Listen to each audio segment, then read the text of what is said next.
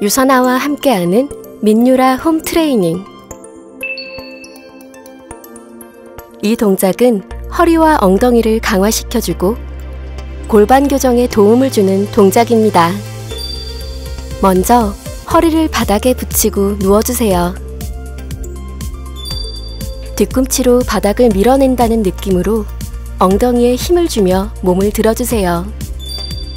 이 동작에서 갈비뼈가 들리지 않도록 주의하셔야 합니다. 3초 정도 버티고 등, 허리, 엉덩이 순서로 내려와 주세요. 코어와 엉덩이 힘을 유지하며 10회 반복합니다. 유산아와 함께 지금 시작하세요.